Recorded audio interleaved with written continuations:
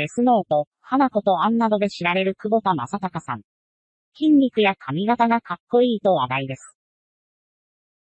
その久保田正孝さんの歴代の熱愛彼女は、多部未華子さんと破局。理由は、水川あさみさんと同棲。久保田正孝さんの年齢、身長、高校や経歴などを生きプロフィールとともに調べてみました。久保田正孝さんのプロフィール。名前、久保田正孝、久保田正孝。出身地、神奈川県。生年月日、1988年8月6日。年齢、29歳、執筆時。身長、175センチメートル。血液型、B 型。学歴、神奈川県立神奈川工業高等学校機械科卒業。職業、俳優、所属事務所、スターダストプロモーション。久保田正孝さんは1988年神奈川県生まれ。三人兄弟の三男で、現在は親友のように仲が良いそうですが、子供の頃は激しい喧嘩をたくさん繰り返してきたのだそうです。久保田正孝さんは、もともと芸能界に興味はなく、地元の工業高校に通い、卒業後はガソリンスタンドで働きながら整備士を目指していたようです。ボルトやネジが大好きだそうで、その自動車愛や戦車好きは、2018年1月11日放送の桜井有吉座夜会でも披露され、話題となりましたね。そんな車好きの久保田正孝さんに芸能界入りを進めたのは、母親でした。その勧めを受け、オーディションの公募雑誌からスターダストプロモーションのオーディションを見つけ、応募。見事合格し、同事務所に入所し、その後2006年4月のフジテレビ深夜ドラマ、チェケラッチョ。イン東京で初主演。以後、主演含め、数多くのドラマ、映画に出演します。久保田正孝さんのブレイク現在。久保田正孝さんが注目を集め始めるようになったのは2012年頃からのようです。同年の NHK 大河ドラマ、平の清盛では、主人公、平の清盛の長男、平の重盛を演じ、また同年の映画、不甲斐ない僕は空を見たでは横浜映画祭最優秀新人賞、高崎映画祭最優秀助演男優賞を獲得しています。平の清盛より、さらに、2014年上半期の NHK 連続テレビ小説、花子とアンで広く知られるようになり、2014年から翌年にかけ、ドラマ、レヌのために、アルジャーノンに花束を、デスノートなどの人気作に立て続けに出演。デスノートより、そして、オリコンスタイルの2015ブレイク俳優で上半期及び年間の首位を獲得し、同年末の Yahoo 検索大賞でも俳優部門を受賞するなど、2015年は大ブレイクの年となります。ブレイク後も高い人気を保ち続け、2016年、マーズ歌だ、君を愛してる、2017年、4号警備、僕たちがやりましたなどのドラマ、2017年、東京食いたね東京グール、2018年、犬猿などの映画での主演をはじめ、数多くのドラマ、映画に出演。東京クイシュより最も注目を集める若手俳優の一人として、第一線で活躍を続けています。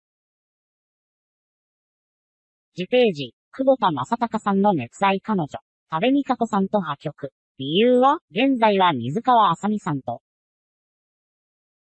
窪田正孝さんと多部未華子さんの熱愛と破局。窪田正孝さんは、2013年5月にフライデーで、多部未華子さんとの熱愛が報道されました。多部未華子さん、二人の馴れ初めは2012年のドラマ、ウォークでの共演からで、同誌では、多部未華子、ウォーク、お泊まり愛との見出しで報じられました。報道では、2013年5月下旬に久保田正孝さんが多部未華子さんの愛車を運転してマンション駐車場に入っていく姿や、二人が距離を置いて歩く姿、そして久保田正孝さんが翌朝多部未華子さんの自宅マンションを出る姿などの写真が報じられました。実はこの報道以前から、すでにツイッターやネット掲示板などで二人のデート姿の目撃情報が多く寄せられていたそうで、ファンたちの間ではかねてから噂になっていたみたいですね。当時、多部未華子さんは超有名人気女優、久保田正孝さんは売れ始めの新人俳優だったため、格差カップルと見られていたようです。そのため、二人の関係を危ぶむ声もあったようですが、義後、交際は順調に進展。2014年、2015年と、週刊誌でたびたび二人の仲睦まじいデート姿が報じられました。その間、久保田正孝さんは大ブレイクを果たし、交際当初の格差が大幅に縮小。結婚間近かと思われましたが、2016年4月25日発売の週刊ポストで破局が報道されます。報道によると、2016年に入ってすぐに多部美香子さんの方に別の好きな人ができたため、久保田正孝さんを振る形で破局を迎えたとのことです。次ページ、久保田正孝さんと多部美香子さんの破局理由は、その後水川あさみさんと熱愛が、久保田正孝さんと多部未華子さんの破局理由は、多部未華子さん、実はこの破局報道前から、2016年4月3日放送の、さんまのまんまで。結婚したいですけど、30歳までは遊びたいです。いろいろな出会いをしたり、いろいろな恋をしたい。と恋愛について語り、さらにその前月25日放送のアナザースカイでは、行きつけの寿司屋の板前さんに向かって、誰か、良い男性、いないですか？本気、これ本気、すごい本気。と発言するなど、破局を匂わせる言動を繰り返していたみたいですね。破局理由については当然ですが、本人たちの口から直接明かされているわけではありません。ただ、多部未華子さんは、アナザースカイに出演した際に、自身のことを男を見る目がないとしており、その理由として、見かけだけ優しい人とか、何考えてるのかわからない人と付き合いがちだから。ということを挙げています。この発言は時期的にも、暗に久保田正孝さんのことを言っていると受け取った視聴者も少なくなかったようで、批判の対象となったみたいですね。なお、久保田正孝さんの性格は、自身及び周囲の俳優仲間などの票を総合すると、人見知りで内にこもりやすい、生真面目な努力家。といった傾向があるようで、内向的であることが伺えます。一方の多部未華子さんは、恋愛にはかなり積極的で、肉食系とも評される外交的な性格のようです。アナザースカイでも、若手人気女優らしからぬあけすけな恋バナの様子が話題になりました。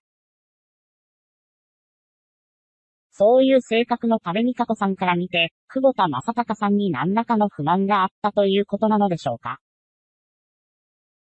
ただ、過去の恋愛について男を見る目がないなどと口走ったりするのは軽率だったかもしれませんね。いろいろ良い思い出もあったはずだし、過去の交際相手を全否定しているように受け取られかねませんからね。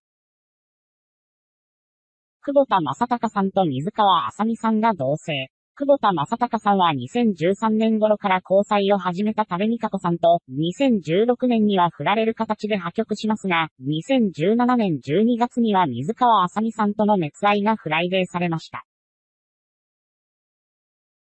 水川あさみさん。報道では、都内の水川あさみさんの自宅マンションから、窪田正孝さんの運転するロードスターが助手席に水川あさみさんを乗せて出てくる様子が、写真とともに報じられました。二人の馴れ初めは2017年夏のドラマ、僕たちがやりましたでの共演から。劇中では教師と生徒役で、水川あさみさんの方が5歳年上でした。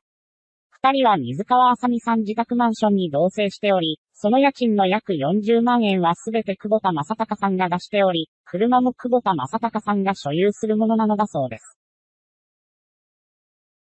また、久保田正孝さんは、水川あさみさんと結婚前提で同棲を始めたと聞いている、とする久保田正孝さんの俳優仲間の証言も紹介されていました。久保田正孝さんにとって、結婚したいと思えるほどの相手がついに現れたみたいですね。二人の出演作品はもちろんですが、今後の二人のプライベートでの関係の進展についても、良い続報が待たれますね。以上、久保田正孝さんについてでした。